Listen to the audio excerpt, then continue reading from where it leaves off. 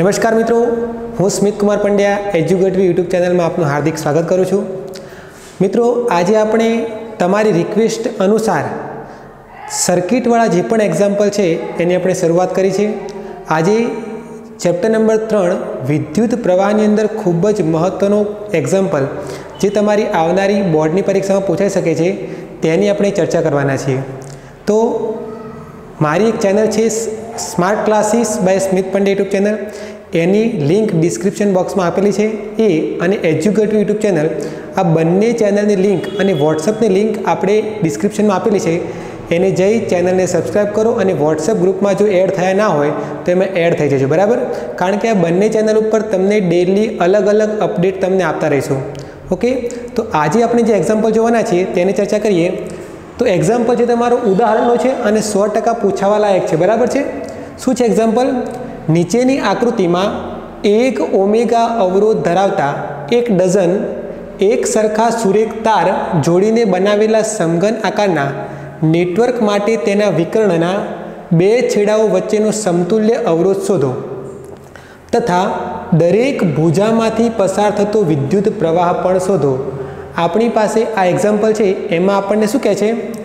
આ જે વસ્તુ લખ્યું છે, એને તમને થોડુંક સિમ્પ્લિફાય કરીને બતાવું. આ જે સર્કિટ છે, એ આપણને આપેલી છે.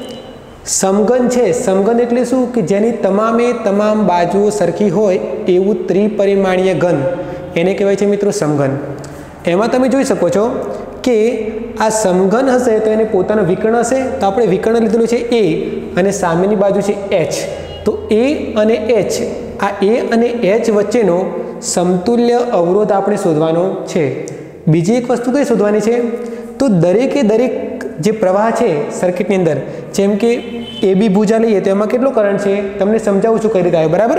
તો આઈ બાય થ્રી છે એફ ભૂજા છે એફ જે ભૂજા છે જે એચ ભૂજા છે. તો દરેકે દરેક જેટલા પણ આપણને બાર બાજુઓ છે, તો બારે બાર બાજુઓમાંથી પસાર થતો વિદ્યુત પ્રવાહ આપણે મિત્રો શોધવાનો છે. આ કઈ રીતે આવેલો છે? જો તમને સર્કિટ આપેલી હશે, એમાં માત્ર આઈ કરંટ એકલો આપેલો હોય અને I by six I by three I by three આ આ બધી વસ્તુ આપણને આપેલી ના હોય ધારો કે પરીક્ષામાં, તો એ કઈ રીતે ફાઇન કરવાની એની તમને વાત કરું. એ પહેલાં આ જે એક્ઝામ્પલ છે, એને ગણવા માટે આપણે કિર્ચોફના સર્કિટનો નિયમ વાપરવાના છે. કિર્ચોફના બે નિયમ છે મિત્રો. કયા કયા નિયમ છે? તો એની વાત કરવા જોઈએ તો બે નિયમ તમને બતાવું છું. એક છે જંક્શનનો નિયમ કયો છે મિત્રો? જંક્શન માટેનો નિયમ છે. જ્યારે બીજો છે, એ છે તમારો લૂપ માટેનો નિયમ. જંક્શન શું કહે છે? ધારો કે તમારી પાસે એક જંક્શન આપેલું છે, તો જંક્શનની અંદર પસાર જે જંક્શન છે આપણી પાસે, એની અંદર એન્ટર થતો પ્રવાહ અને બહાર નીકળતો પ્રવાહ હંમેશા સરખો હશે. ધારો કે આ જંક્શનની અંદર અંદર પ્રવેશિત થતો વિદ્યુત પ્રવાહ ધારો કે આઈ અને આઈ છે. અને બહાર નીકળતો પ્રવાહ એ કેટલો છે? ધારો કે આઈ છે. તો જેટલો પ્રવાહ આ જંક્શન એની અંદર પસાર થાય છે, એટલો જ પ્રવાહ બહાર નીકળશે. તો એન્ટર કેટલો કરંટ થયો છે? તો આપણે જોઈ શકીએ છીએ કે આઈ વન વત્તા આઈ ટુ જેટલો પ્રવાહ અંદર થયો, અંદર ગયો છે. તો બહાર કેટલો નીકળશે? આઈ જેટલો. એનો મતલબ આઈ વન બરાબર આઈ વન વત્તા આઈ ટુ બરાબર શું થવાનું? આઈ એટલે કે આઈની કિંમત કેટલી હશે? જંક્શનમાં જેટલો પણ પ્રવાહ એન્ટર થયો છે, એ બંનેના સરવાળા જેટલી કિંમત હશે. પરંતુ જો આઈને હું આ બાજુ લાવી દઉં, તો માઇનસ આઈ થશે, તો કુલ પ્રવાહ કેવો થવાનો? ઝીરો થવાનો. એનો મતલબ વીજભાર અથવા તો વિદ્યુત ભારના સંરક્ષણનો નિયમ કહેવામાં આવે છે. આના પરથી આપણે સિગ્મા આઈ બરાબર ઝીરો લખી શકીએ. શું લખાય મિત્રો? સિગ્મા આઈ બરાબર ઝીરો બીજો એક છે લૂપનો નિયમ. લૂપનો નિયમ શું કહે છે આપણને? કે કોઈપણ બંધ ગાળા માટે કુલ વિદ્યુત સ્થિતિમાન કેટલું હશે મિત્રો? ઝીરો હશે. બસ, આ બે નિયમનો આપણે ઉપયોગ કરવાનો છે અને આગળનો જે એક્ઝામ્પલ તમને બતાવ્યો, એની આપણે સોલ્વ કરીશું, બરાબર? તો જુઓ, આ જે એક્ઝામ્પલ છે, એમાં આપણે જોઈશું કે તમારે આ જે સર્કિટ છે, એમાંથી આઈ કરંટ છે, એ આ બાજુ બેટરીમાંથી આવે છે એન બાજુ ગયો એનથી કઈ ગયો એ બિંદુ પાસે આવ્યો છે. એ બિંદુ પાસે જ્યારે આઈ કરંટ આવે છે, ત્યારે તમે જોશો કે એના ત્રણ ભાગ પડે છે. એક તો એથી બી તરફ એથી ડી તરફ અને એથી એફ તરફ. તો ત્રણેય જગ્યાએ અવરોધ કેટલો છે દરેક તારનો એક અવરોધ જેટલો સરખું ઓમેગા જેટલો અવરોધ છે. તો દરેક જગ્યાએ સરખું વિભાજન થાય અને કરંટ છે એ તમારું આગળ જશે. બરાબર છે? તો આઈ કરંટના ત્રણ સરખા ભાગ પડશે. આઈ બાય થ્રી એ બી બાજુ આઈ બાય થ્રી એડી બાજુ અને I by three A F બાજુ. ખ્યાલ આવી ગયો? ત્યારબાદ તમે જોશો તો આઈ એથી બી બાજુ જાઓ. તો I by three current B સુધી આવી ગયો. બી પાસે જાઓ તો ફરીથી એની પાછા બીજા બે ભાગ પડે છે. બીથી સી તરફ અને બીથી જી તરફ. તો એના પાછળ સરખું વિભાજન થવાનું એટલે અહીં આઈ બાય સિક્સ કરંટ જશે. અહીં જે આવતો હોય કરંટ એના બે ભાગ પડી જાય એટલે ભાગ્યા બે કરવાના, બરાબર? તો આઈ બાય સિક્સ અને આઈ બાય સિક્સ એ રીતે અહીંયા જે આઈ બાય થ્રી છે, એનું આ બાજુ આઈ બાય સિક્સ નીચે આઈ બાય સિક્સ જવાનું છે. બરાબર છે આ કરંટ કેટલો હશે નીચે પણ આઈ બાય સિક્સ જેટલો જ કરંટ હશે આ ત્યારબાદ તમે જોશો કે આ જે આઈ બાય થ્રી કરંટ આવે છે એના ફરીથી નીચે આઈ બાય સિક્સ આ બાજુ આઈ બાય સિક્સ ગયા તો આ આઈ બાય સિક્સ છે એફથી જે તરફનો અને ડીથી જે તરફનો આ બંને I I by six current છે એ જે આગળ ભેગા થશે તો આઈ બાય સિક્સ વત્તા આઈ બાય સિક્સ બે વખત આઈ બાય સિક્સ થયા તો તમને શું મળશે આઈ બાય થ્રી એ જેથી એચ તરફ આઈ બાય થ્રી જેટલું કરંટ ભેગો થશે કેમ આ આઈ બાય સિક્સ અને આ આઈ બાય સિક્સ બંનેનું થવાનું સરવાળો ત્યાર પછી નીચે ઉતરશે ઓકે આ આઈ બાય થ્રી કરંટ અહીંથી આવશે અહીંથી જીથી એચ તરફ આઈ બાય થ્રી આવશે અહીંથી આઈ બાય થ્રી આવવાનું અહીંથી આઈ બાય થ્રી આવવાનું અને બીજો આઈ બાય થ્રી સીથી એચ તરફ આવવાનું બરાબર છે તો I by three I by three I by આ ત્રણેય કરંટ કઈ જવાના એચ આગળ ભેગા થવાના તો I by three I by three I by three ત્રણ વખત ભેગા થાય તો કરંટ કુલ કેટલો થાય આઈ જેટલો થવાનો, બસ. એ આઈ જેટલો જ કરંટ પાછો તમારો એચથી એમ તરફ તમને વહેલો જોવા મળે છે. તો આ સર્કિટ સિમ્પલી આપણને આવડી જાય છે. આના ઉપરથી આપણને કહે છે કે બે છેડાઓ વચ્ચેનો સમતુલ્ય અવરોધ શોધો. તો શરૂઆતમાં તો બે છેડા કયા કયા છે? એ છેડો છે અને બીજો છે એચ છેડો. આ તમારા વિકર્ણના છેડાઓ છે. એમની વચ્ચેનો સમતુલ્ય અવરોધ શોધો હોય તો મારે પહેલાં એક લૂપ લઈ લેવાની. શું લઈ લેવાની? એક લૂપ એ લૂપ કઈ લઉં છું? તો એથી લઉં છું એફ તરફ એફથી જે તરફ જેથી એચ તરફ એચથી એમ તરફ એમથી એન તરફ અને એનથી પાછું એ તરફ. જ્યાંથી શરૂઆત કરું છું, ત્યાં જ હું પાછો આવી જાઉં છું. લૂપ થઈ એમ કહેવાય ને? તો અહીં પરિપથ લખી દઉં છું. પહેલાં હું જઈશ એથી એફ તરફ. એથી એફ તરફ. એફથી જે તરફ. જેથી એચ તરફ. એચથી એમ તરફ. અને એમથી એન અને એન પછી સીધો હું પાછો કઈ આવી ગયો? એ તરફ. એટલે જ્યાંથી શરૂઆત કરી છે, ત્યાં જ હું પરિપથ પૂર્ણ કરું છું. જે છે મિત્રો, એ હવે તમારે યાદ રાખવાનું છે કે જ્યારે હું એથી એફ તરફ જાઉં છું, ત્યારે વિદ્યુત પ્રવાહની દિશા કેવી છે? જો આપણી જવાની દિશા અને વિદ્યુત પ્રવાહની દિશા સરખી હોય, તો આપણે માઇનસ સિમ્બોલનો ઉપયોગ કરીશું. કોના માટે? વિદ્યુત સ્થિતિમાન માટે. જેમ કે એથી એફ તરફ જઈએ આપણે, તો હું ક્યાં જાઉં છું? એથી એફ તરફ જાઉં છું. તો એથી એફ તરફ કરંટની દિશા પણ એથી એફ તરફની છે. તો આપણી જવાની દિશા અને કરંટની દિશા બંને એક હોય, તો જ્યારે એક જ દિશા હોય, ત્યારે આપણે કયા સિમ્બોલનો ઉપયોગ કરીએ છીએ મિત્રો? Minus symbol. એટલે એમાં ઓહમના નિયમ મુજબ વોલ્ટેજ ગણીએ આપણે, તો વોલ્ટેજ થશે આઈ ઇન્ટુ આર એટલે પ્રવાહ અને અવરોધનો ગુણાકાર થશે. તો એ પ્રવાહ કેટલો છે? તો એ છે પ્રવાહ તમારો માઇનસ આઈ બાય થ્રી છે ને? આઈ બાય થ્રી કરંટ અને અવરોધ કેટલો છે? આર આ માઇનસ કેમ મૂક્યા? તો એથી એફ તરફ આપણી દિશા છે, વિદ્યુત પ્રવાહની પણ એ જ દિશા છે. સરખી દિશા હોય તો આપણે માઇનસ મૂકીશું યાદ રાખવાનું છે. ત્યાર પછી એફથી જે તરફ જાઓ તમે. આ એફથી જે છે ને, એ તરફ જાઓ.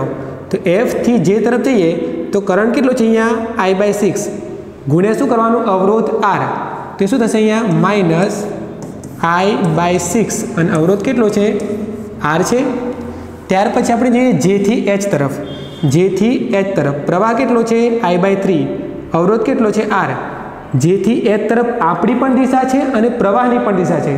બંને દિશા સરખી હોય શું લેવાનું આપણે? માઇનસ તો ફરીથી માઇનસ આવશે. અહીં શું આવશે?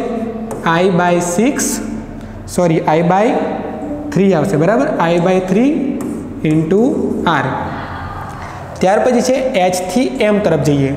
એચથી એમ તરફ. અહીં માત્ર કરંટ છે અવરોધ છે નહીં, એટલે આપણે તે વોલ્ટેજ ગણીશું નહીં. ત્યાર પછી એમથી એન તરફ. એમથી એન તરફ જઈએ આપણે.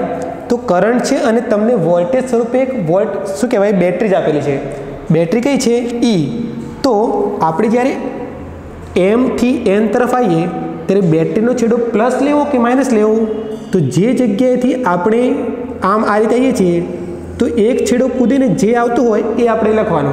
એનો મતલબ એમથી એન તરફ આવતા બહારની બાજુ કયો છેડો આવે છે? પ્લસ છેડો આવે છે?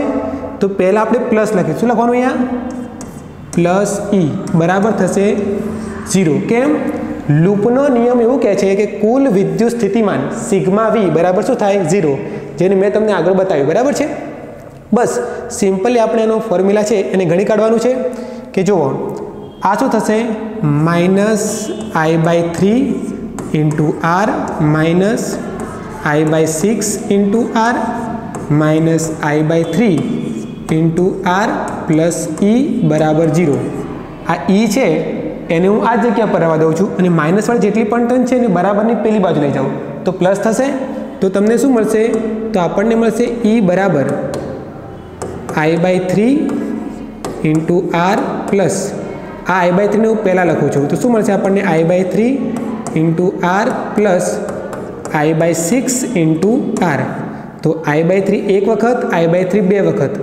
આપણને મળશે two times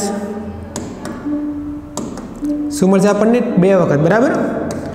Two times I by three into R plus I by six into R તો જ્યારે આપણે એને સોલ્વ કરવા જઈએ તો જુઓ, શું કરવાનું? આના છેદમાં ત્રણ છે, આના છેદમાં છ છે. સરળતા ખાતર આપણે શું કરીએ છીએ? આના છેદમાં પણ છ લાવી દઈએ. છ લાવવા માટે શું કરવાનું? આ જે ઇક્વેશન છે એને ઉપર અને નીચે બે વડે સિમ્પલી ગુણી લઈએ. તો શું થાય આને? Four I by six into R. શું કર્યું? આ જે ઇક્વેશન છે, આ જે ઇક્વેશન એને હું ઉપર અને નીચે બે વડે ગુણી કાઢ્યું. બરાબર છે? તો નીચે છેદ એનો સરખો થઈ જાય ને? અહીંયા પણ છો અને અહીંયા પણ છો. તો છેદ સરખો હોય તો આપણે અંશનો સરવાળો આસાની થઈ જાય. તો એ મળી જાય આપણને I by six into R તો શું થયું અહીંયા? ફોર આઈઆર બાય સિક્સ આ છે આઈઆર બાય સિક્સ તો ફોર આઈઆર અને આ છે આઈઆર ફાઇવ આઈઆર કહેવાય? જો તમે છને કોમન કાઢી લો, તો શું મળશે? ફાઇવ આઈઆર બાય સિક્સ કોના બરાબર? ઈ બરાબર. તો આપણને મળી ગયું E is equal to five I R by six પરંતુ મિત્રો, આપણને પૂછ્યું છે શું? તો આર ઇક્વિવેલન્ટ સમતુલ્ય અવરોધ શું છે એ આપણને પૂછેલો છે. ધારો કે આ જ ફિગર છે, એને હું ખાલી વિકર્ણો સ્વરૂપે દર્શાવું. તો વિકર્ણ કયા કયા છે? તો વિકર્ણ છે આપણી પાસે? એ અને એચ તો એ બિંદુ અને એચ બિંદુ. આ બંને વચ્ચેનો સમતુલ્ય અવરોધ, ધારો કે આર ઇક્વિવેલન્ટ જેટલો હોય, તો એના માટે વોલ્ટેજ શું લખાય? ઈ બરાબર. કેમ ઈ બરાબર? અહીંયા એની પાસે બેટરી હશે ઈ જેટલી, બરાબર? આ ઈ જેટલી બેટરી હોય તો ઈ બરાબર શું લખાય? તો ઈ બરાબર લખાશે આઈ ઇન્ટુ આર ઇક્વિવેલન્ટ લખાય. ઇક્વિવેલન્ટ એટલે શું? એ અને એચ વચ્ચેનો સમતુલ્ય અવરોધ એ જ આપણે અહીંયા દર્શાવેલો છે. તો આ બંને ઇક્વેશનને હું સરખાવી દઉં તો શું મળશે? I R equivalent is equal to five I R by six આવું મળશે? આ આઈ આ આઈ બંને આઈ કેન્સલ થઈ જશે. હવે આ જે આર છે ને એ તારનો અવરોધ છે. તારનો અવરોધ તમને કેટલો આપેલો છે અહીંયા? એક ઓમેગા આપેલો છે. એનો મતલબ અહીંયા આપણે આર બરાબર એક મૂકીશું. તો શું થાય? R equivalent is equal to five into one by six તો તમને શું મળ્યું? ફાઇવ બાય સિક્સ આ મળી ગયું તમને આર ઇક્વિવેલન્ટ ખ્યાલ આવી ગયો? તો આ થઈ ગયું તમારું આર ઇક્વિવેલન્ટ ઓકે ડન છે, બરાબર? તો આનો એકમ શું થશે મિત્રો? આનો એકમ થશે ઓમેગા. ત્યાર પછી આપણને પૂછ્યું છે કે દરેકે દરેક ભુજાનો કરંટ કેટલો? તો દરેક ભુજાનો કરંટ માટે સિમ્પલી આપણને ઈ બરાબર શું છે? એ આપણે આગળ લખીશું. ઈ બરાબર છે five I R by six. એ આપણે આગળ દર્શાવીએ, બરાબર? શું છે? E is equal to five I R by six. આપણને આવું મળેલું છે? એમાં આર બરાબર શું છે? તારનો અવરોધ. તારનો અવરોધ કેટલો છે? એક ઓમેગા છે. બસ. અને ઈ બરાબર કેટલા છે? દસ વોલ્ટ છે. તો એની જગ્યાએ મૂકવાના દસ વોલ્ટ. અને આરની જગ્યાએ શું મૂકવાનું છે? One omega. તો તમને શું મળશે? દસ બરાબર ફાઈવ આઈ બાય સિક્સ. આવું મળશે? તો જુઓ. તો શું મળ્યું અહીંયા તમને? આઈને કરતાં બનાવો તો આ પાંચ દૂને દસ ઉડી ગયા. તો આઈ બરાબર શું મળ્યું? બાર એમ્પિયર.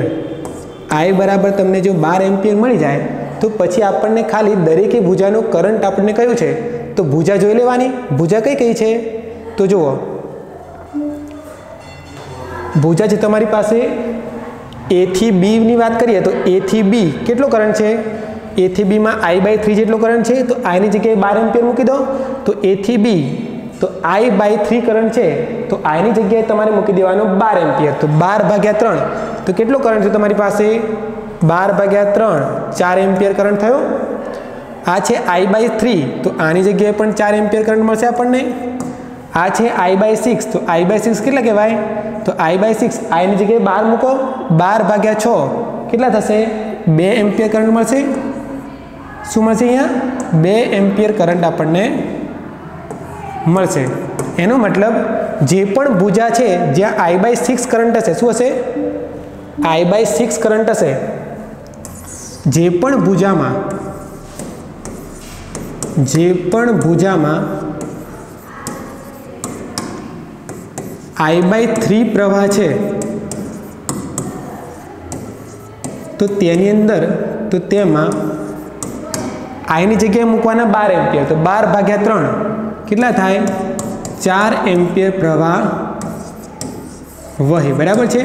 જ્યાં આઈ બાય સિક્સ કરંટ છે. તેમાં શું થશે? ફરીથી મૂકવાના તેમાં આઈ એટલે બાર એમ્પિયર. બાર ભાગ્યા છ. બાર ભાગ્યા છ કેટલા થાય? બે એમ્પિયર પ્રવાહ વહે. બસ, દરેકે દરેક ભુજા તમારે આ રીતે લખવાનું. પરીક્ષામાં લખો ને. તો એ બી ભુજા બીસી ભુજા સીડી ભુજા, એફ એચ ભુજા. દરેક ભુજામાં જે હશે, ધારો કે આઈ બાય થ્રી હોય, તો અહીંયા આઈ બાય થ્રી લખી દેવાનું. આઈની જગ્યાએ કેટલા મૂકવાના? Four ampere. બસ, ચાર એમ્પિયર. આવું આખું લિસ્ટ આપણે બનાવી દેવાનું, બરાબર છે? તો આ છે તમારું ખૂબ જ મહત્ત્વનું એક્ઝામ્પલ આશા રાખું છું તમને ખ્યાલ આવી ગયો હશે. આ રીતે આપણે બાકીના બીજા જે પણ એક્ઝામ્પલ છે સર્કિટ રિલેટેડ હોય, જે તમારી બોર્ડની પરીક્ષામાં ખૂબ જ મહત્ત્વના છે. જેને આપણે ચર્ચા કરવાના છીએ, તો આપણી જે ચેનલ છે એને લાઇક કરો શેર કરો સબસ્ક્રાઈબ કરો.